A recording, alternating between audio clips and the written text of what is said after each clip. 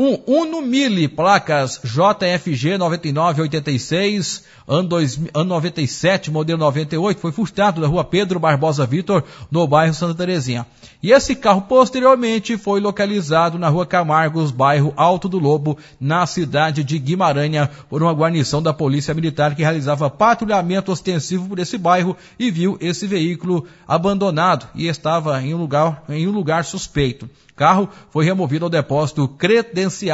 da Polícia Civil.